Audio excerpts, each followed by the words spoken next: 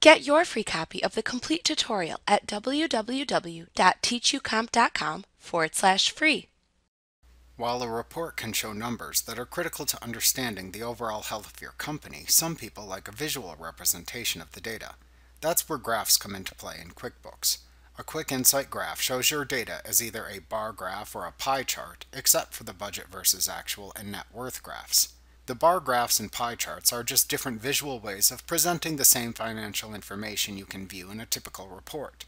QuickBooks has six types of graphs that can provide up to 15 different views of your data.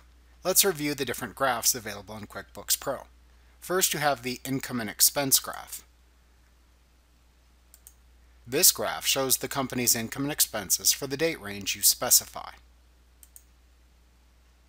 Next, you have the sales graph. This shows your company's sales income for the period you specify.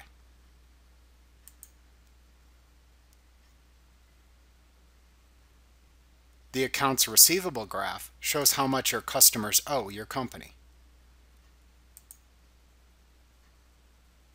The accounts payable graph shows how much your company owes its vendors.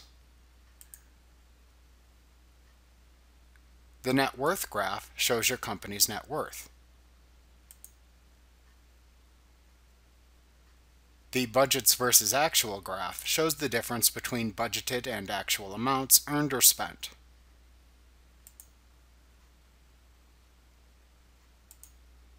The Quick Insight graphs that QuickBooks Desktop Pro produces have several features in common.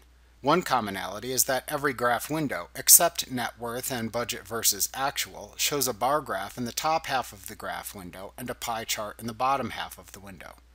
In the graph window, the bar graph will display totals of the data broken down by a specified period, and the pie chart will show a summary total of some type of information shown in the bar graph above. Also, every graph comes with a graph toolbar, which you can use to customize the graphs in much the same way as reports. Like the reports, you can also use quick zoom in a graph to see the actual numbers represented by the selected items in the graph. You will typically get summary reports that you can continue to quick zoom to trace back to the original transactions shown in the totals in the graph.